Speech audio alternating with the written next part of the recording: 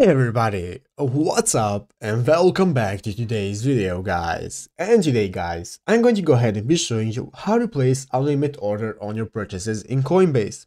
This is a very simple thing to do guys, so make sure to watch this quick and easy video till the very end and follow my steps correctly so you can make sure this works the same for you and that you can do this yourself. But yeah guys, let's get straight into it. So guys, the first thing you want to do is go ahead and open up the official Coinbase application on your mobile phone if you haven't already. And after opening up Coinbase guys, you will be greeted by this main page right here, which is the home page where you can either go ahead and sign into a new account or you can go ahead and sign into an existing account that you already have. So guys, you can either go ahead and log into your account that you have. So after doing that guys and logging into your account, you'll be greeted by this main page right here, which is the home page where you can see all the options you can access at the bottom of the screen, such as home, you can see your your account, your assets, trading, and so on. So guys, now let's go ahead and see how to place a limit order.